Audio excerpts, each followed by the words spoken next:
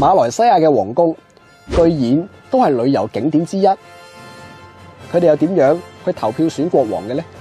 作为郑王嘅同事，文英同一峰今日就要去到马来西亚嘅皇宫呢度，同呢度嘅皇室 say 个 hi。但系得个门口啫，入唔到噶。果然今集系同皇室好有关系。喂，我觉得你越嚟越似国王的新衣入边嗰个诚世嘅小朋友。你俾多啲想象力得唔得啊？OK。出现喺大家眼前嘅就系二零一一年落成嘅马来西亚新皇宫，金色圆顶嘅建筑，散发住皇室嘅贵气，亦都带有中东阿拉伯风情。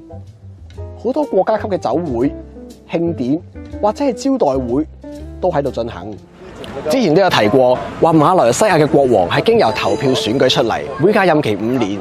之但系点解会有咁样嘅制度呢？同埋咩人先可以做候选人咧？其实马来西亚十三州里面，除咗马六甲、槟城、沙巴同埋沙劳越之外，其他九个州都仲保留住自己嘅苏丹同皇室。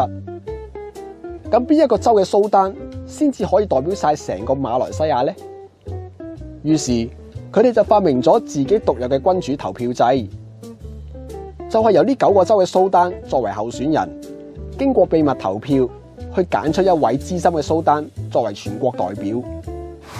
喂，咁其实咧，马来西亚本身嘅文化咧都几多元嘅喎。咁你觉得我哋鱼鹰殿够唔够多元咧？喂，答案已经喺眼前啦。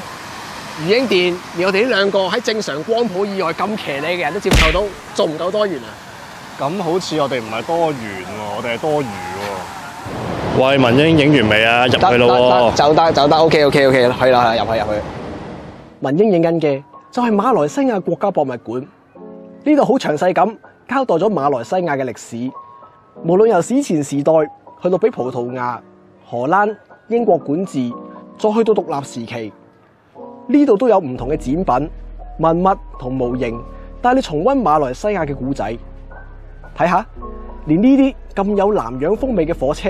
都可以喺度揾到，所以如果你想知道马来西亚传统嘅风俗面貌，又或者想印证一下点解佢会形成一种既多元但系又共融嘅文化，咁呢度你就一定要嚟啦。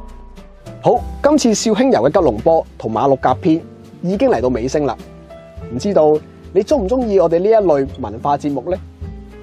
其实今次都感谢一峰，全程由佢自驾游带文英去啲窿窿罅罅为大家拍摄。喂，不过如果你个样咧唔好成日都咁凶，狠，可能就再好啲咯。你理得我啫，嘈咗揸车啦，玩下啫。事实上，我哋全程都有讲有笑，所有我哋度嘅对白都只系戲剧效果。因为我好惊，如果我哋正正经咁样做，你哋就唔会再睇我哋啲片。其实不嬲都冇人睇你啲片噶啦。你太坦白啦。不过如果你真系睇到嚟呢一集，唯一表示我对你嘅多谢，我哋决定送多集俾你。你確定真係啲人想要？我唔理，總之我要跑啦。